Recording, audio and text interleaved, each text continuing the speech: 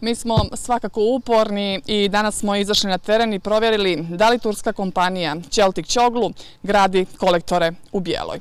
Kao što vidite, nigdje radnika.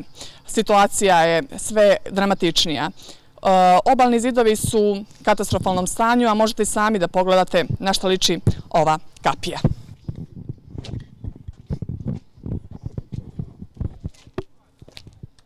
Građani i dalje negoduju. Da vam kažem, evo dva mjeseca se prolazimo u udasa, možete misliti kako to izgleda.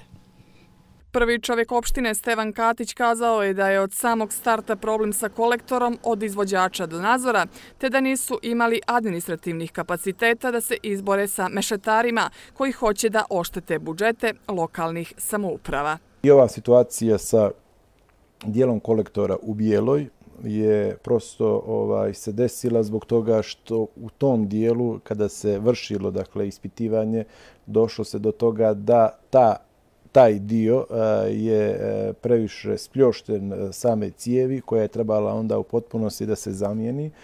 Međutim, zbog e, samog projekta e, kolektora koji je po svim našim mišljenjima, odnosno mišljenju novske struke inženjera bio zaista i tada kada je počinjeno da se radi loš, velike dubine na koje se postavile cijevi od kanalizacijonog kolektora e, su definitivno uzrokovale da je i zbog e, svega toga bilo veoma teško zamijeniti sad tu cijev. Katić smatra da su mještani opravdano revoltirani, te da je glavni krivac izvođač radova. Da dali određeni rok, jer ste morali pratiti po tom ugovoru, odnosno po tom fidiku određene rokove, do kada oni to moraju da završe. I bio je recimo 5. ili 6. august konačan rok, kada im je onda poslat zvaničan dopis po prateći taj ugovor da ga morate završiti do tog datuma. Ako ga ne završite, taj onda posao ima pravo da preuzme opština, da angažuje nekoga drugoga i da onda taj dio posla fakturiše ka